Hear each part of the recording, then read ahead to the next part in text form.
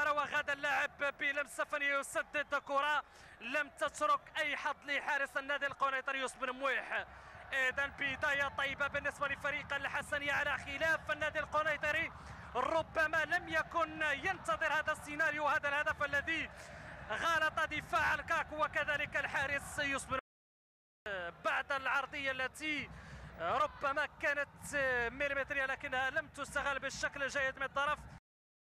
هشام العروي فرصة سانحة للنادي القنيطري ربما الفرصة التي قد يندم عليها كل من هشام العروي وكذلك إيريك أوبيرا.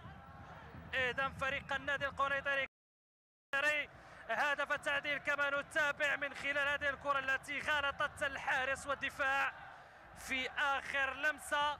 تابعنا يوسف الترابي.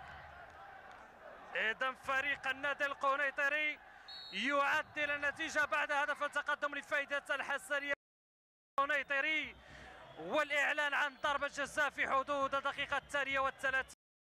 فريق الحسنيه اذا فرصة ذهبية للنادي القنيطري من أجل تسجيل الهدف الثاني في المباراة. اذا خطيرة خطيرة هدف.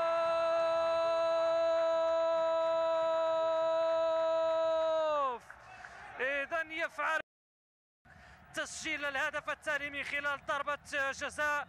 سجلها بلال بيات هدفين مقابل واحد. الهدف الذي أفرح أنصار الكاك ولكن أنه انتصار اليوم على حساب الحسنية. مشاهدينا الكرام في حدود الدقيقة السادسة والثلاثين.